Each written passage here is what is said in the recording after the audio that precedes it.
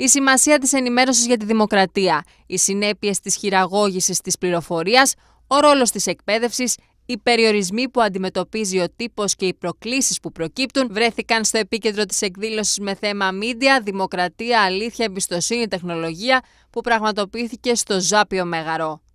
Σήμερα είχαμε τον καινούριο νόμο για την ελευθερία του τύπου που θέλει να προστατεύσει τον τύπο, να βάλει, να οργανώσει, να φέρει τάξη στο χάος των media, ειδικά στο διαδικτυακό τοπίο, να τα βάλει λίγο με τα μονοπόλια τα μεγάλα των πλατφόρμων, που δεν θα είναι εύκολο, αλλά αυτή είναι η προσπάθεια, και εν εκλογών, ευρωεκλογών και αμερικανικών εκλογών, να καταπολεμηθεί η δυσφήμιση και το fake information.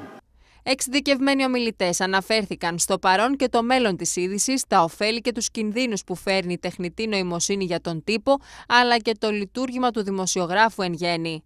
Ακόμα είμαστε στην φάση που διατυπώνουμε ερωτήματα και είναι περίεργο να συμβαίνει αυτό μετά από μια τόσο μεγάλη παράδοση ε, της δημοκρατίας στη χώρα μας και του τύπου στη χώρα μας και παρουσία. Να όμως που μπαίνουν ζητήματα εμπιστοσύνης, ζητήματα τεχνολογικής μεταξέλιξης, ζητήματα αλήθειας σε εισαγωγικά. Υπάρχει ένας προβληματισμός στην Ελλάδα διάκητος για τα μέσα μαζικής ενημέρωσης, ο οποίος ποτέ δεν οδηγεί σε κάτι, δηλαδή στη διαμόρφωση ενός πλαισίου. Αλλά και αν διαμορφωθεί το πλαίσιο, είναι τόση η κατόπιν εορτής διαβούλευση, που είναι αμφίβολο αν θα εφαρμοστεί το πλαίσιο. Γιατί ο καθένας αυτενεργεί.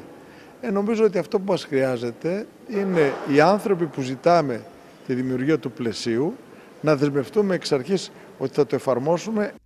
Ιδιαίτερη αναφορά έγινε στον Ευρωπαϊκό Νόμο για την Ελευθερία των Μέσων Μαζικής Ενημέρωσης και την αντιμετώπιση του φαινομένου ΣΛΑΠ. Στο σύστημα των μέσων ενημέρωσης, πολιτική προπαγάνδα, πολιτικές συμπεριφορές, όλα αυτά και το πιο σημαντικό φυσικά, έτσι, είναι ο κίνδυνος να δημιουργηθεί μια κοινωνία μηδενικής εμπιστοσύνης.